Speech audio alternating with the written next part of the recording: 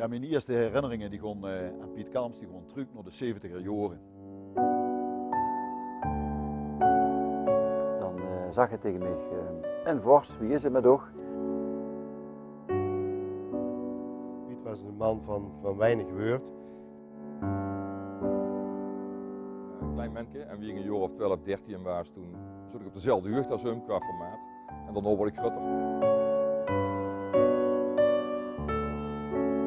Hij maakt tekeningen, ik maak tekeningen.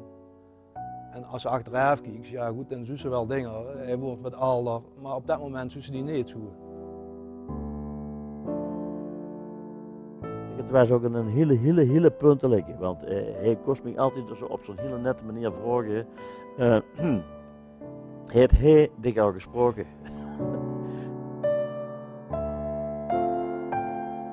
een brouwer die naar buiten kunt rennen en die schreef dan in zo'n in zo'n ballonke, zo'n tekstballonke, brand! En dat was het logo van brandweer. Fantastisch. Het is een soepele overgang geweest van de ene tekenaar naar de andere.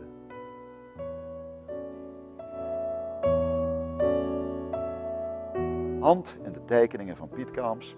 De man die kost handtekenen, wie nemen ze anders dat kost? Dat waren van die, mocht maar eens opletten, van die boerenknuisten. Van die, van die stevige boerenhand.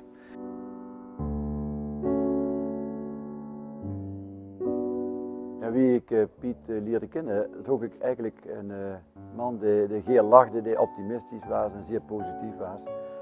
En langzamerhand, wie ik hem dukker sprak en tegenkwam, zag ik eigenlijk wie bijzonder de man was.